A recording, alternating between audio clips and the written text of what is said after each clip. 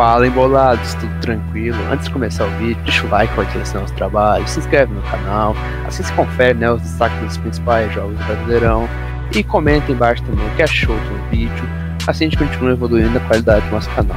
Então, fiquem com o vídeo.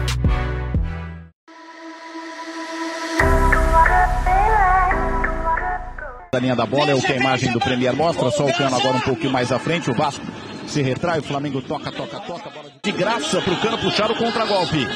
Bruno Henrique, bola dividida forte com o cano, sem falta, vamos pro Rogério ordena para o time subir a marcação e atrapalhar a saída do Vasco, deu certo. Bruno Henrique para o Gabriel, Fernando Miguel ficou, Gabriel bateu. Na hora de construir não vai ter perna. Bruno Henrique domina, se fecha o Vasco. Léo Matos marcado. Vem Gabriel, bate pra bola, olhar atento pro goleiro, bateu.